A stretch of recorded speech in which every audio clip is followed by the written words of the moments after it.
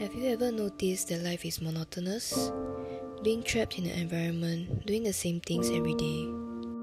I should be happy doing the things I love, but no, it only lasts for a short while. Deep down, I still feel empty, and I always ask myself, am I really living the life I want? I'm sure everyone will hear from their parents or relatives saying, must study hard, if not next time cannot enter university and cannot find a proper job. Is this what life is all about? Studying from nursery to university and working all the way I retire at probably 60?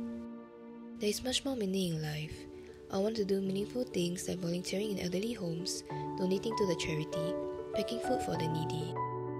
As much as we should be the happiest we can, I feel like putting a smile on someone else's face will make me feel a special kind of happiness as well. As for my future, I would like to join the Navy. To me, it really takes courage and passion to protect my country. Living my days while working is definitely something I desire for my future.